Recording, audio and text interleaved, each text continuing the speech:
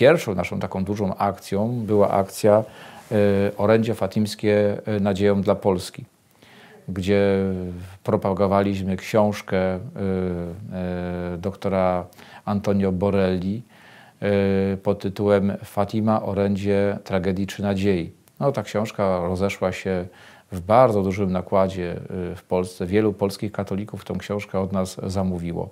Ale dlatego też inne akcje y, właśnie pobożnościowe, które nasze stowarzyszenie y, podjęło.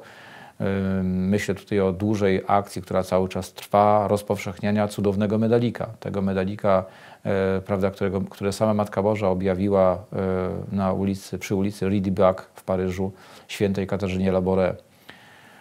Równolegle prowadziliśmy promocję modlitwy różańcowej, no bo skoro Fatima, a Fatima, no to wezwanie do odmawiania różańca, więc promowaliśmy i promujemy różaniec. Promujemy szkaplerz karmelitański, promujemy nabożeństwa do męki pańskiej, y, prawda, czyli tutaj zegar męki pańskiej. Promujemy, zawsze staramy się w jakiś sposób coś przygotować na Wielki Post, y, jakieś takie specjalne nabożeństwo.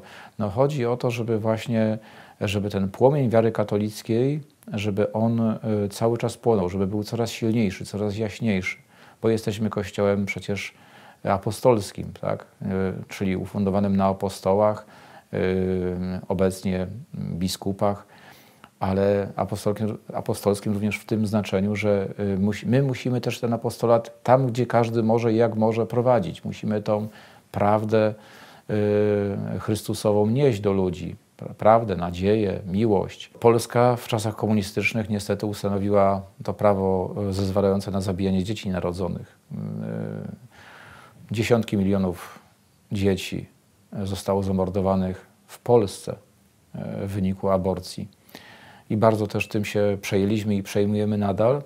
Bardzo szybko stosunkowo zaczęliśmy tutaj prowadzić akcję właśnie też właśnie w, poświęconą obronie życia dzieci nienarodzonych marsze dla życia przecież i te różne inicjatywy, które, które nasze stowarzyszenie jakoś tam podejmuje czy włącza się, to jest bardzo ważny, ważny aspekt. Kiedy na początku lat 2000 wybuchła cała ta rewolucja tęczowa, rewolucja promująca homoseksualizm, to nasze stowarzyszenie również tutaj zabierało głos zgodnie z nauką Kościoła katolickiego, opierając się na nauczaniu y, papieży, nauczaniu płynącym z Biblii, z, z, Pisma Świętego.